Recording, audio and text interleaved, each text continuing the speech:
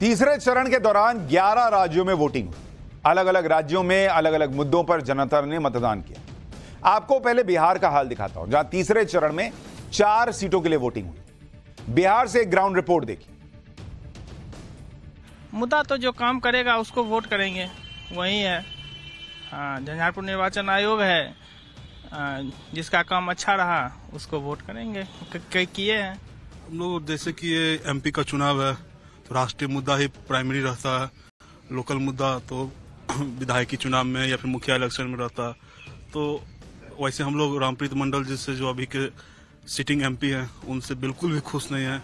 मजबूरी बस, मोदी जी के नाम पे ही वोटिंग हुआ। है हम लोग सारे युवा जो हैं, इस बार संकल्पित हैं बदलाव के लिए।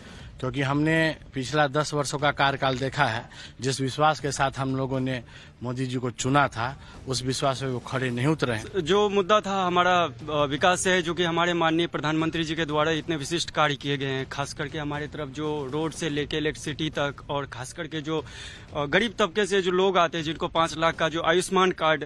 मोदी जी को किस तरह से देखते हैं? अच्छा देखते हैं हम लोग। उन्हीं के नाम पर तो वोट देते हैं। अभी जो वो कुंदन मंडल खड़ा है उसको हम लोग थोड़े वोट दें हम तो मोदी को हम लोग वोट दिए कैंडिडेट नहीं है मोदी का चेहरा देख के मोराज की एकदम राइट अच्छा ये सेंटिमेंट कई जगहों पर सुनने को मिल रहा है कि कैंडिडेट कौन है इससे फ़र्क नहीं पड़ता नरेंद्र मोदी के चेहरे पर वोट डाल रहे हैं। या लोग ये भी कह रहे हैं कि जो सांसद हैं उनसे नाराज़गी है लेकिन नरेंद्र मोदी को जिताना है, इसलिए वोट डाल रहे हैं। कई लोग परिवर्तन की भी बात कर रहे हैं, लेकिन जो चीज़ें दिख रही हैं, वो आपको ग्राउंड रिपोर्ट दिखा रहा हूँ, ये बिहार में लोग क्या कह रहे हैं। इसी तरह आज मध्य प्रदेश की आठ सीटों पर वोट पड़ा है, और एमपी में कैसे मतदान हुआ, जनता ने किन मुद्दों पर वोट डाला, भोपाल से आपको एक ग्राउंड रिपोर्ट दिखाता हूँ, भोपाल में लोग क्या बोल रहे हैं? मतदान को लेकर लोगों का उत्साह देखते ही बन रहा है। राजधानी भोपाल में तो कम से कम वोटिंग प्रतिशत बेहतर है। अभी फ़िलहाल कई जगह पे कतारें लगी हुई हैं। जो देश की प्रगति करेगा वो वो उसको दे, देना चाहिए वोट। नज़र में प्रगति है। नहीं अभी दस साल से ज्या- ज़्यादा हुई है। पहले से बहुत ज़्यादा बदलाव हुआ है और एजुकेशन में स्पेशली हुआ है लेकिन अभी और भी बहुत सारा बदलाव होना बाकी है। कि मोदी जी जब से आए काफ़ी कुछ सुधार हुआ है और आगे भी उम्मीद करते हैं कि शायद और भी अच्छा सुधार होगा। डेवलपमेंट के मुद्दे हैं कि डेवलपमेंट अच्छा हो रहा है और आगे और अच्छा हो बस यही चाहत रहेगी हमारी तो। यानी मध्य प्रदेश में भी कई लोग डेवलपमेंट को मुद्दा मानकर वोट करते दिखे हैं। कईयों को लग रहा है कि भाई डेवलपमेंट अच्छा हो रहा है, इसको कंटिन्यू रखना है, डेवलपमेंट को आगे बढ़ाना है। इस तरह की बातें लोग कैमरे पर कर रहे हैं। उसी तरह प्रधानमंत्री नरेंद्र मोदी का कॉन्फिडेंस भी है। उनकी बॉडी लैंग्वेज उनका रिलैक्स मूड ये सब बताता है कि चुनाव किस दिशा में जा रहा है। वैसे भी तीसरे चरण को लेकर बीजेपी पूरी तरह से कॉन्फिडेंट थी, क्योंकि जिन तिरानवे सीटों पर आज वोटिंग हुई है, उसमें पिछले चुनाव में बीजेपी ने एक तरह से क्लीन स्वीप जैसा ही किया था। आज जिन सीटों पर वोटिंग हुई, उनमें आपको 2019 का रिज़ल्ट बताता हूँ। इन तिरानवे सीटों पर 2019 में क्या हुआ था? तीसरे चरण की जो 93 सीटें हैं 93 सीट। और इसका 2019 का रिज़ल्ट देखिए 2019 में क्या हुआ था? इसमें बीजेपी ने बहत्तर सीट जीती थी।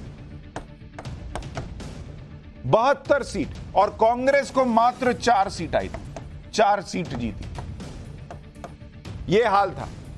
अगर आज के इंडिया अलायंस और एनडीए की तुलना की जाए तो 2019 में अगर आप देखिएगा कि एनडीए का क्या हाल था भाई तो एनडीए को 2019 में तिरानवे सीटों में से 75 सीट आई थी 75 और जो आज का इंडिया अलायंस है, उसको मात्र आठ सीट आई थी और अदर्स जो हैं, उनको 10 सीट गई तो यानी ये वो फ़ेज़ है, तीसरा चरण, जो बीजेपी के लिए मैसिव जीत दर्ज करना और वहाँ मैसिव बड़ी संख्या में सीटें हासिल करने वाला है।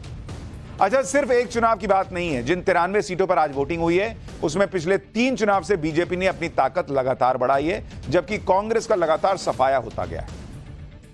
2009 में बीजेपी के पास तिरानवे में से सैतालीस सीटें हुआ करती थी, जो कि 2014 में बढ़कर सड़सठ हुई और 2019 में बढ़कर बहत्तर पर पहुँच गई। जबकि कांग्रेस के पास इन तिरानवे सीटों में से 2009 में 27 सीट होती थी। नरेंद्र मोदी का चेहरा आया तो घटकर 9 रह गई और 2019 में घटकर चार हो अगर इन सीटों पर कांग्रेस की गिरावट का यही पैटर्न रहा तो चार सीटें भी कांग्रेस के लिए बचाना मुश्किल हो जाएगा।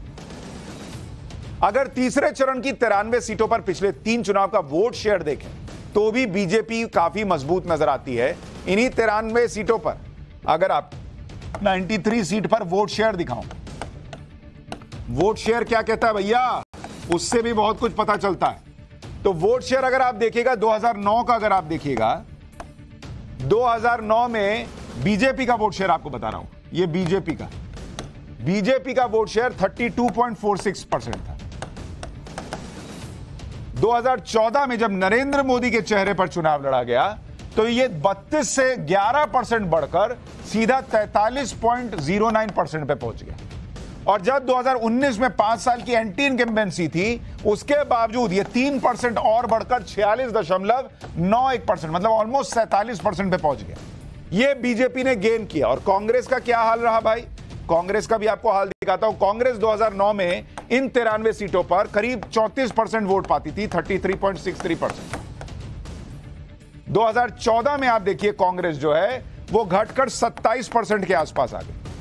और 2019 में कांग्रेस घटकर करीब 25 परसेंट पर आ गई। तो कांग्रेस लगातार गिर रही है और बीजेपी लगातार इन तिरानवे सीटों पर बढ़ रही थी और अभी भी लोग डेवलपमेंट की बात कर रहे हैं तो किस तरफ़ जा रही हैं चीज़ें वो अंदाज़ा लगता है। बीजेपी किस तरह से तीसरे चरण की सीटों पर मज़बूत है उसका अंदाज़ा इसी बात से लगाइए कि ऐसी बहुत सीटें हैं जिन्हें एक बार नहीं, दो बार नहीं तीन तीन बार से बीजेपी जीत रही। आपको आंकड़े बताता हूँ।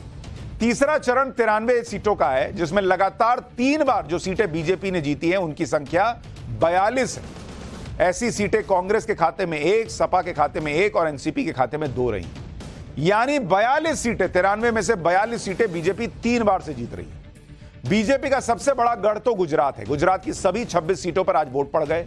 गुजरात में बीजेपी के लिए कोई चैलेंज ही नहीं है। वहाँ पर उन्नीस से बीजेपी की सरकार है। 2022 के विधानसभा चुनाव में गुजरात में बीजेपी ने इतनी सीटें जीत ली थी जो गुजरात के इतिहास में किसी पार्टी ने नहीं जीती। यानी गुजरात में एक तरफा मामला बताया जा रहा है। आज गुजरात में बड़े बड़े लोगों ने वोटिंग की। अमित शाह ने भी अपने परिवार के साथ वोट डाला। यूपी की राज्यपाल आनंदीबेन पटेल ने अहमदाबाद में वोटिंग की। क्रिकेटर रविंद्र जडेजा पहुँचे थे अपनी पत्नी के साथ वोट डालने के लिए। बीजेपी विधायक रेबाबा ने भी अपना वोट डाला। उद्योगपति गौतम अडानी ने भी अहमदाबाद में वोटिंग की है। गौतम अडानी ने भी अपने परिवार के साथ वोटिंग आज करते हुए वो नज़र आए। गुजरात में लोकसभा की 26 सीटें हैं और दो चुनाव से लगातार सभी सीटें यहाँ पर बीजेपी जीत रही है। इससे पहले भी गुजरात में ज़्यादातर सीटें बीजेपी ही जीतती थी, लेकिन जब प्रधानमंत्री नरेंद्र मोदी का चेहरा रहा तो क्लीन स्वीप होता रहा। क्योंकि अगर आप देखेंगे, गुजरात की 26 सीटों में 2009 में 15 बीजेपी जीती, लेकिन 14 और 19 में 26 की 26 सीटें बीजेपी के खाते में आ गई। जब इस तरह से प्रधानमंत्री नरेंद्र मोदी की लहर हो तो विपक्षी भी घबरा जाते हैं कि बॉस कुछ सीटें मिलेंगी या कुछ भी नहीं मिलेगा। क्योंकि 2014 और 19 की लहर के में विपक्ष का इतना बुरा हाल हो गया था कि विपक्ष के बड़े बड़े नेता अपना गढ़ नहीं बचा पाए। तीसरे चरण में भी विपक्ष के बड़े गढ़ दांव पर है। इनमें खास तौर पर यूपी में अखिलेश यादव और उनके परिवार का गढ़ शामिल है। क्योंकि तीसरे चरण में उन्हीं के इलाके में वोटिंग हुई है। अखिलेश यादव ने तो तीसरे चरण में पूरी ताकत लगा दी। आज अखिलेश यादव ने भी अपना वोट डाला। उनकी पत्नी डिंपल यादव ने भी वोट कास्ट किया। दोनों ने सैफई में मताधिकार का प्रयोग किया। तीसरे चरण में अखिलेश के परिवार के तीन लोगों की सीटें थी। इनमें मैनपुरी से डिंपल यादव थी। अखिलेश यादव की पत्नी है। बदायूं से आदित्य यादव थे, जो शिवपाल यादव के बेटे हैं। और फिरोजाबाद से अक्षय यादव, जो रामगोपाल यादव के बेटे हैं। इन तीनों के लिए आज वोट पड़े। तीसरे चरण की वोटिंग में यूपी में कुछ बवाल भी हुआ। जैसे यूपी में कुछ सीटों पर समाजवादी पार्टी ने आरोप लगाया कि मुस्लिम वोटर्स को वोट डालने से रोका जा रहा है समाजवादी पार्टी ने आरोप लगाया कि आगरा कैंट में बूथ नंबर 319 पर पुलिस मुस्लिम मतदाताओं को धमकाकर वोट डालने से रोक रही है इसी तरह से समाजवादी पार्टी ने आंवला में भी वोटिंग में गड़बड़ी का आरोप लगा दिया। समाजवादी पार्टी ने लिखा कि आंवला के फरीदपुर में बूथ नंबर एक पर मुस्लिम मतदाताओं को पुलिस परेशान कर रही है। समाजवादी पार्टी आरोप तो लगा रही है। लेकिन समाजवादी पार्टी के ही नेता भी हंगामा कर रहे हैं। आप संभल की तस्वीर देखिए। संभल में समाजवादी पार्टी के प्रत्याशी जियाउर रहमान और पुलिस में काफ़ी देर तीखी कहासुनी हुई। समाजवादी पार्टी के कैंडिडेट जियाउर रहमान की गाड़ी में चार लोग सवार थे और वो वोटिंग का जायजा ले रहे थे। इस बात को लेकर पुलिस ने आपत्ति दर्ज कराई। पुलिस का कहना था कि बिना अनुमति ये सभी लोग बूथ पर घूम रहे काफ़ी देर तक हंगामे का माहौल बना रहा। संबल में मतदान शांति के साथ हो गया। हो और फर्जी वोटिंग न होने पाए, इसको लेकर पुलिस भी सख्त दिखी। पुलिस ने अधिकारी, पुलिस अधिकारियों ने लोगों को बुलाकर समझाया भी कि जिनका वोट है, वो बिना डरे वोट डालें, लेकिन अगर किसी ने फर्जी वोटिंग करने की कोशिश की तो उनके खिलाफ कड़ी कार्रवाई की जाएगी। सुनिए एक बार। सात तारीख का मतदान है तो आप अपना वोट अपना वोट डालें। उसके लिए हम तुम्हें नहीं कह रहे, पर ये फर्जी जो तुमने किया, जो और फर्जी डालना चाह रहे हैं, जो कुछ पहले दिन से आके यहाँ रुक जाते हैं, वोट डालेंगे। तो उन्हें बता देना अब इस बार सख्त कार्रवाई होगी। कोई भी ऐसे नहीं छूटेगा, कोई वोट डाल देगा फर्जी समझ आई बात? मुस्लिम वोटर्स को लेकर इतना बवाल और हंगामा इसलिए हुआ क्योंकि तीसरे चरण की कई सीटों पर मुस्लिम वोटर्स का बड़ा प्रभाव है। जैसे जिस संभल की बात कर रहा हूँ, वहाँ करीब 9 लाख मुस्लिम वोटर्स हैं। बदायूं में साढ़े तीन लाख मुस्लिम वोटर्स हैं। आंवला में करीब साढ़े तीन लाख।